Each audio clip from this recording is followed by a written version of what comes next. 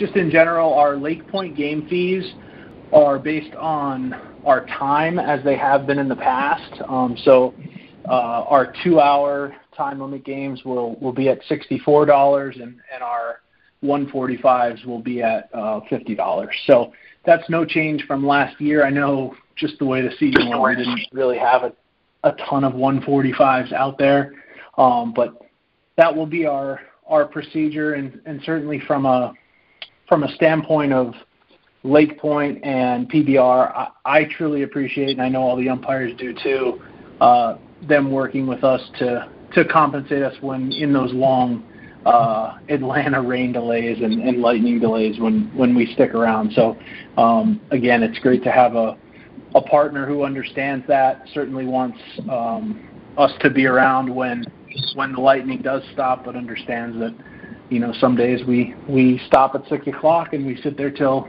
ten ten thirty, and and we do appreciate that, and it's good to have a partner like that.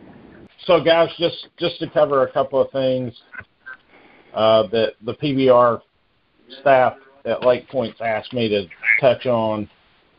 Make sure that you're coming in the back gate, the umpire gate off of Stars Way, and you're not going in through their maintenance facility.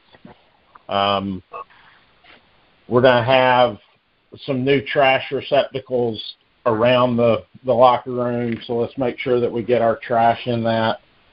We're going to have a butt can for cigarettes, cigar butts. Let's make sure that those all go in the sand bucket. Um, and then one of the big things is on the field. Let's make sure that we get our trash and our water bottles off the field when we come off the field. Um, it, it kind of turned into an issue uh, early in the fall where water bottles were just getting left there on the field, and um, you know, so let's just make sure that we're cleaning up after ourselves there on the field, cleaning up after ourselves in the locker room. Um, you know, if you spill something, get it up. Make sure the trash goes in the trash can. Yeah, I think we did a great job of everybody kind of doing what they needed to do last year and taking the trash out as it needed to happen and and cleaning up behind themselves. Um, I've talked with Matt and Kyle at PBR, and they're looking into a porta potty. Then we're also going to have a, a, a golf cart that we will be able to use if if we need to. And what I would, you know, if we can get to a point to where we don't need to use the bathrooms in the tower, and we have time to put you in a golf cart and take you around to the other bathroom facility that's outside of the playing area, then that would be great.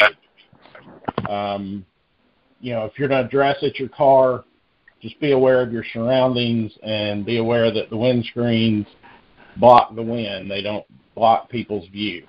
Um, obviously, if you guys are there for 8 a.m. games, like we don't have a key for that gate.